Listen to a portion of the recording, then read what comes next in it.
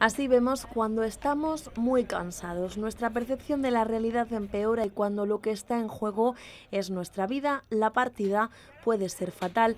Estos jóvenes han experimentado hoy con varios simuladores la merma de reflejos que puede suponer ir cansado, haber bebido alcohol o consumido drogas. Que no he acertado ni una porque la verdad es que no podía ni siquiera, no veía ningún, no veía la línea, no veía los, los pivotes estos donde no estaban, entonces me iba pisando, la verdad es que no sé. Ha sido pues más, más raro que en estar en estado de embriaguez, porque claro, mm, aquí en la prueba veía doble y se hacía como difícil, pero no llega a ser como si realmente estuviera en estado de embriaguez, no, se ha hecho más difícil. Es una cosa que tú no esperas que te pase hasta que te pasa, que no lo ves hasta que te hacen verlo. No, no tengo práctica, si todavía no conduzco.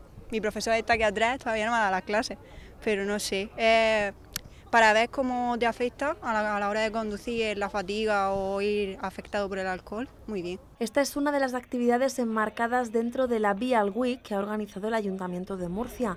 Con ellos ha colaborado la Asociación de Autoescuelas estos talleres que tenemos mm, de alguna manera están interiorizando de una forma muy, muy eh, importante las posibles consecuencias de, esas actitudes incorrectas. ¿no? Tenemos también un taller para enseñar a cambiar eh, rueda, a poner cadenas, eh, también unas gafas que recrean los efectos del alcohol al volante, cannabis también y lo que es la fatiga, el cansancio. Todo para evitar que las noches de fiesta y desplazamientos no acaben en tragedia.